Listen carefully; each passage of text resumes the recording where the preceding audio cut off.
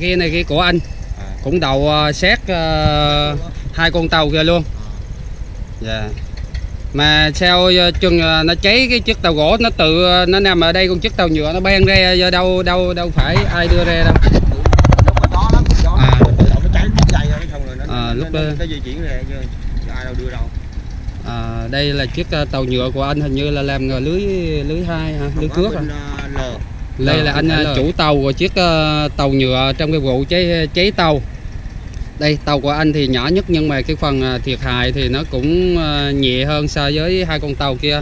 Hai con tàu kia thì hầu như là cháy hư hỏng hoàn toàn. Còn tàu của anh thì bị hư hỏng ở cái phần mâm lái. Mình lái lại cabin. Và mâm lái với cabin là bị cháy. Đây cái mâm lái của con tàu nhựa composite của anh nè. Đó là bị cháy giờ anh cắt cái phần cháy à, cháy này ra anh bỏ anh lắc à, keo lại. Hình như anh lắc à, làm cũng gần xong rồi. Như này là thiệt hại tầm à, bao bao nhiêu tiền anh?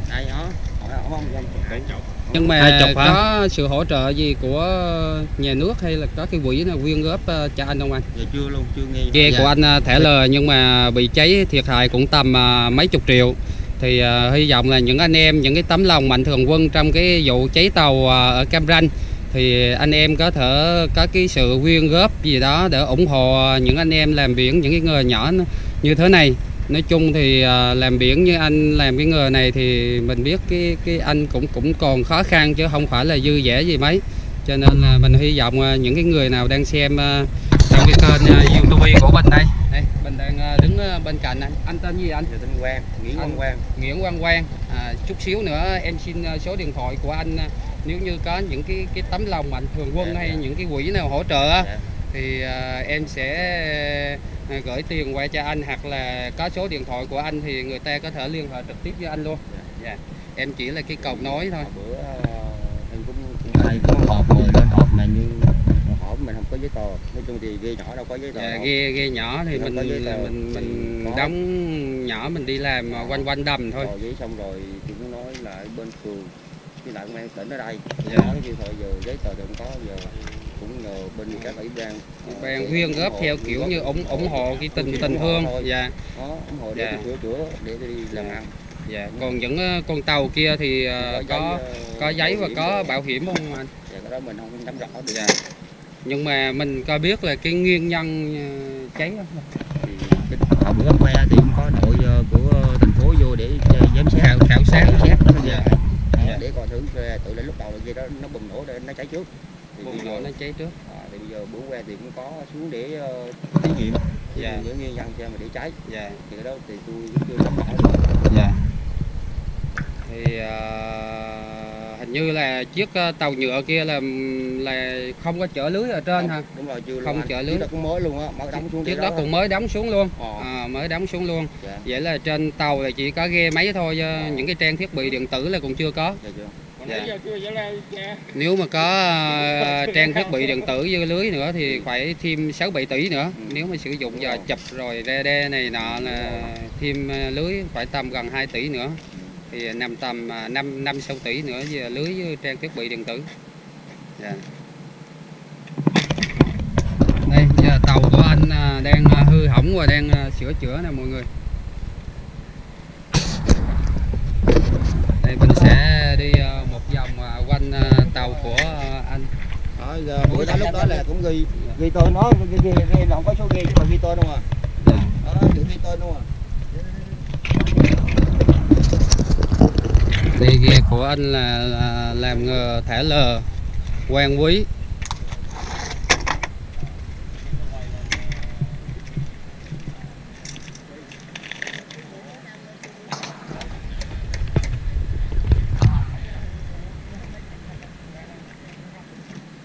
Đây, còn phía bên dưới kia là con tàu gỗ với con tàu uh, composite thì uh, bị cháy hoàn toàn nha anh em. Uh, thì anh Quang có chia sẻ là tàu à, nhựa composite thì à, vừa mới đóng xuống luôn, chưa đi biển lần nào. Vừa mới đóng xuống thì à, ở video ngày hôm trước mình có vào cảng Cam Ranh và thấy được con tàu composite mới đóng xuống rất là mới nhưng mà mình không nghĩ là nó vừa mới đóng xuống, cứ nghĩ là nó làm nước xuống thôi. À, bữa nay anh Quang chia sẻ là tàu đó vừa mới đóng xuống luôn và bị cháy luôn thì anh Quang có nói là chiếc tàu gỗ này là nó bùng phát cái ngọn lửa cháy đầu tiên. Thì uh, ủy ban à, nhân dân à, thành phố Cam Ranh là có xuống có những cuộc khảo sát kiểm tra nhưng mà chưa tìm ra nguyên nhân của vụ cháy. Đây bây giờ vợ chồng anh Quang cùng với uh, các anh em thầy thợ đang uh, sửa lại tàu cho anh Quang Quý để anh Quang Quý có thuyền để kịp đi biển.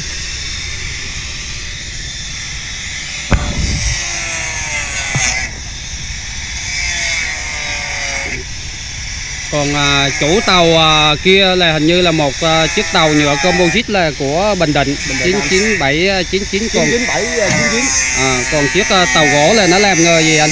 Thì đó là thu mua tôm. Thu mua đêm của thu mua ghe tôm thu mua thu, tôm. thu mua tôm hầm à. ghe này là chắc ghe của dân Cam Ranh dân Bình Ba dân Ba Ngòi luôn. Cũng cạn đây luôn.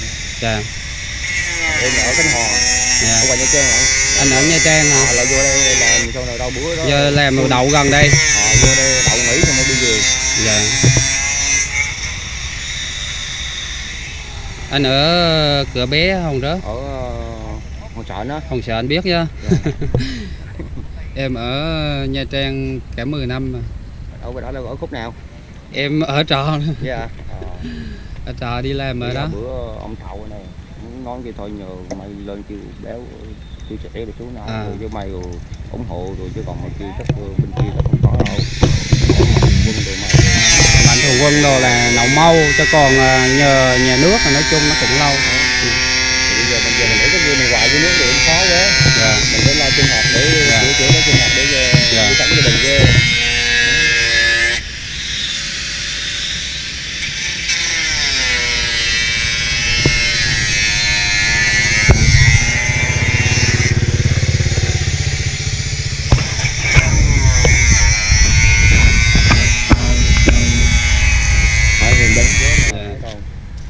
đây đây là tàu của tàu nhựa nhỏ của anh à, Quang Quý à, đang sửa chữa.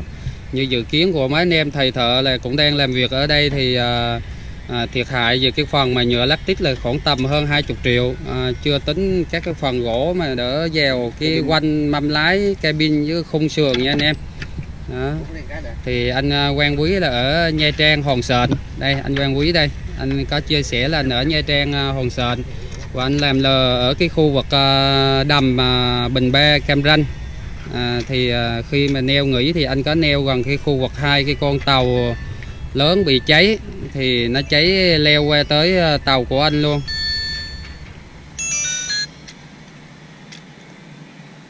Đây mấy anh em thầy thợ đang sửa sang nhanh cho tàu của ghe của anh Quang Quý để anh kịp anh đi biển để có mưu sinh trang trải cuộc sống của gia đình thì anh cũng có chia sẻ thì à, cũng nhờ những cái tấm lòng mạnh thường quân à, những anh em nào đam mơ tàu biển thì có cái cơ hội à, có cái điều kiện thì giúp đỡ anh Quang Quý đỡ ờ, anh san sẻ bớt cái khó khăn trong cuộc sống. Bởi vì à, à, mấy chục triệu thì đối với anh cũng rất là lớn.